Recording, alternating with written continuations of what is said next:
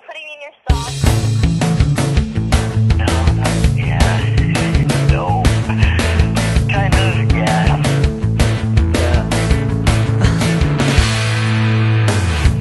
Hollywood girl is lost again. All of her hopes stranded.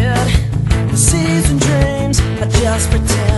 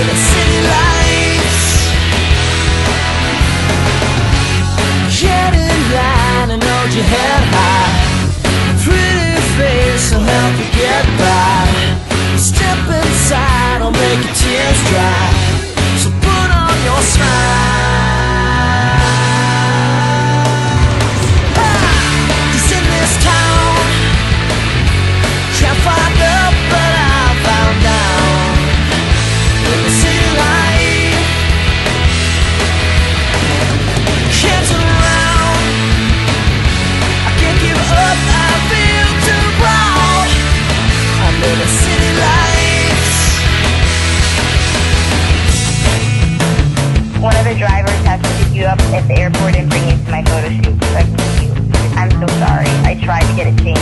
I'm so sorry, baby. Don't do that.